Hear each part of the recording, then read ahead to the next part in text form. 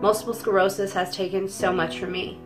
I lost my two best friends, my husband, my career, my job. I'm a former police officer. I got retired from the department. I miss my job that I was doing at the time before I got diagnosed. One of the things that MS has taken from me is mm, my quickness, my ability to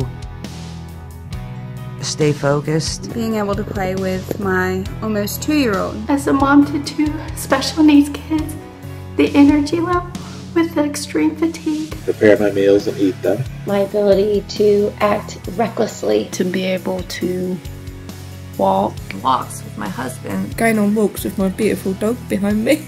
Being able to get in my car and go to my mom when she was passing away.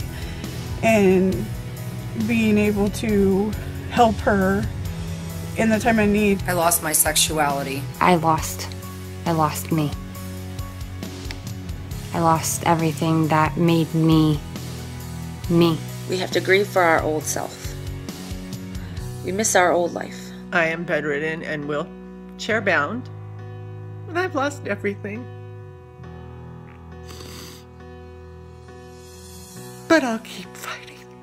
I'm still determined. We all have to just do this together. We gotta keep pushing through. I have multiple sclerosis, but multiple sclerosis will never, ever have me. Just give it one more try.